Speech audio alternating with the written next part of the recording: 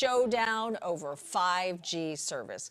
On one side, you have telecom giants AT&T and Verizon. On the other side is the airline industry, and they're they're fighting over new, faster service that was supposed to be rolled out today until the White House stepped in.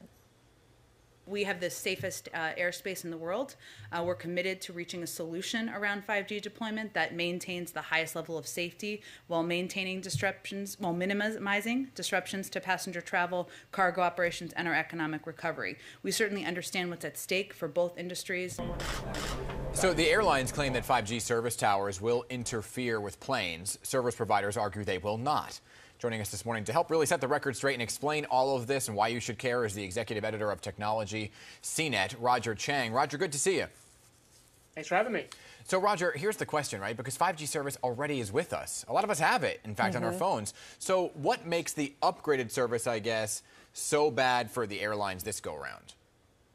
Right, and, and, to be clear, we're still not sure what the exact interference is. A lot of the details are a little hazy, but but just to give you a sense of what this is, 5G right now, if you can imagine a freeway, the carriers like AT&T and Verizon have built out the faster carpool lane and, and sort of the slower entry lane. And what this upgrade is essentially expanding out new lanes, putting in like the three or four middle lanes to give everyone a lot more capacity, a lot more oh. speed. And so right now, at least around the airports, AT&T and Verizon have said that they're delaying the rollout of these extra lanes. Mm-hmm. And the problem is for a lot of big cities like New York, where we live very close to these airports, having these these bans, these exclusion bans, where they are right now holding off on on rolling out 5G means that for a lot of folks, those those higher speed lanes, those extra lanes and capacity, are not going to be around for them. Ah. Okay, so but how are they affecting airplanes specifically, and are all airplanes affected by the new technology? So we're still kind of working out the details, but specifically, you know, all wireless service works on using radio frequencies and radio airwaves, mm-hmm. uh, just like you would get from TV signals. These radio frequencies happen to run fairly close to some of the equipment that these airplanes use, and so there's concern that because they're so close, there might be interference. And the airliners, airline companies have, have clearly taken some big steps here in terms of canceling flights and making yeah. a lot of noise about this, and so for companies like AT&T and Verizon, you know, they I don't think they want to be seen right. as the cause of even more flight cancellations, which is why they've voluntarily decided to pull right. back on deploying around these airports. Yeah, forgive forgive my flippant tone here, but has it been tried? Like, has it been? You know, it seems we're talking about like might be, but wouldn't they have just like kind of gone through all of this already and really seen if it interfered, rather than kind of go forward with a plan that they may not have really tested? No, that's a great question. The thing of it is, is this has been a two-year-long process to get this, uh, to get these radio airwaves and put them into work. I mean, there has been a lot of time for the airline companies and the FAA to make noise or to object to this, and so that's why a lot of folks are scratching their heads. This is coming at the last minute, yeah. just as these networks are getting turned on. The FAA and the airliners are making a big stink about it, and you know, wireless carriers have made the point that this is operating in 40 countries now, including one airline that's canceled their flights, uh, Japan Airlines, JAL. That spectrum is already in use in Japan, and so there's a lot of folks scratching their heads trying to figure out what the objection is.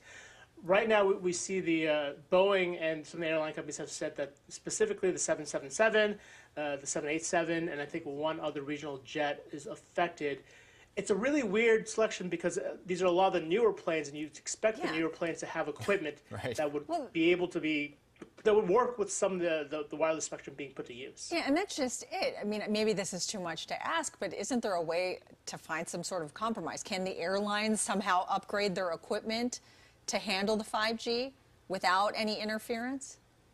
That, that's a great question, and presumably that's the easiest solution is to, to basically upgrade the equipment, but that would require upgrading an entire fleet's equipment.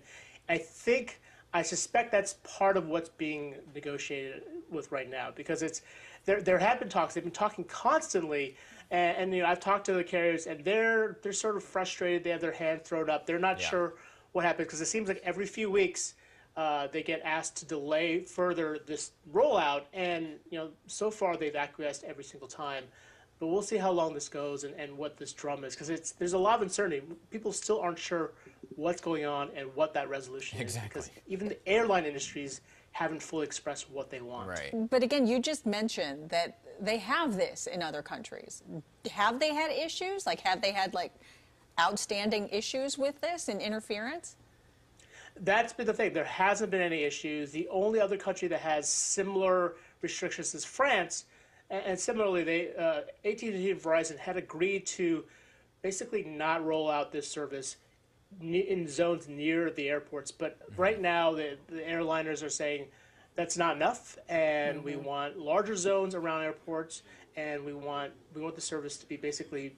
You know, not turned on until we could figure out what the issue is. Just I, your analogy with the with the roads was great. Mm-hmm. This is very similar, I guess, to like you have to turn your phones off upon takeoff and landing, right? Because it might interfere with something. It's a similar principle. I mean, the idea Yeah. there is because you're on the plane, the threat or the risk of interference is so much higher. Yeah. And that's for anything, right? That's that's just not cell phones, but that's laptops, anything that has a signal. This is just they're talking about the cell towers on the ground will interfere with the equipment. And so it's it's interesting. potentially a bigger problem. Okay, Yeah. you know, I'm not a tech person. Me I'm- neither. and so I really want to thank you for bringing so much more clarity to what this issue is. Roger Cheng, thank you so much for your time this morning. Absolutely. Thanks for having me.